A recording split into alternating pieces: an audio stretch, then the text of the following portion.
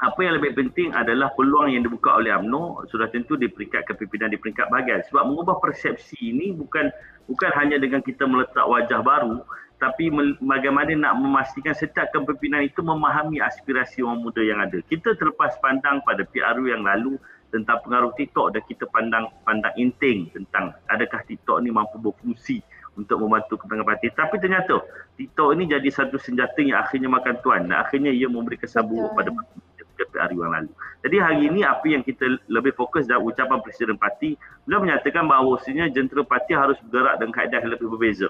Kebergantungan kepada jentera jalanan rakyat tidak boleh diguna pakai lagi. Dan kita perlu mempelbagaikan kaedah pendekatan terutamanya dalam penggunaan big data, bagaimana kita menganalisis komposisi pengundi di setiap kawasan dan kita juga mempunyai cabaran yang lebih besar apabila UMNO tidak lagi jadi pilihan utama kepada pengundi Melayu di mana hari ini Perikatan Nasional juga tampil dan mereka menjadi pilihan utama pengundi Melayu ketika PRU baru-baru ini. Jadi UMNO perlu back to the basic Barisan Nasional satu ketika.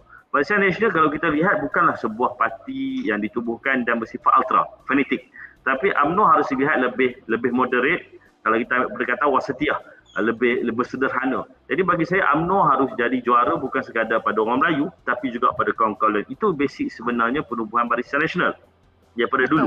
Jadi bagi saya apa yang lebih penting kali ini, apa yang perlu dibuat oleh UMNO adalah bagaimana kita nak mendekati pengundi tetapi dalam kaedah yang lebih tersusun semua paling penting pendekatan kita di peringkat media harus dipergiatkan dan kita perlu lebih ramai lahirkan ikon-ikon di peringkat pusat yang boleh jadi uh, jadi kita tak boleh ada satu KJ kita ada 100 KJ kalau kata orang muda suka KJ kita tak boleh ada satu Syarif Hamdan. Kita perlu ada 100 Syarif Hamdan.